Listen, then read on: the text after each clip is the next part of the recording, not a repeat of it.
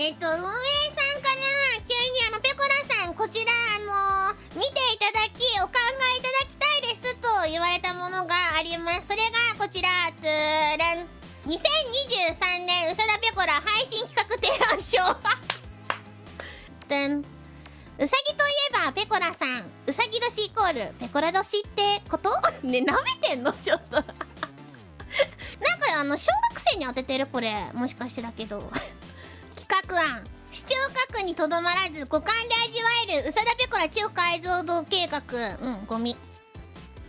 ペコラ16系モデルを作成。ホロライブアプリの実装。うんゴミ。ちょっと待って大丈夫かな？ゴミゴミ言ってる。けどペコラポエムジェナーシを誰か。申し訳ないペコだけど誰がこんなん行きたいんだよって思うペコだろこれ。数珠玉？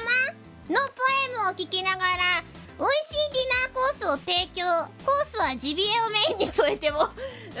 ジビエってさ何これジビエって。ウサギイノシシ鹿鳥カモンってこと？このいやペコラ食うの？うん。ごけんちょっと待って。え？ねこれ明らかにペコちゃんをさバカにしてるよな。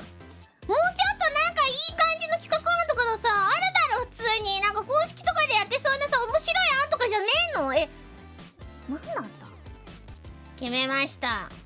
うさらペコラ動きます来年。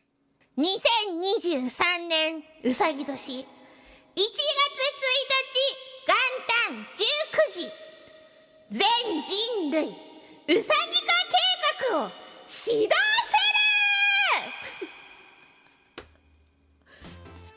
る。やったりますわペコちゃん。みんな。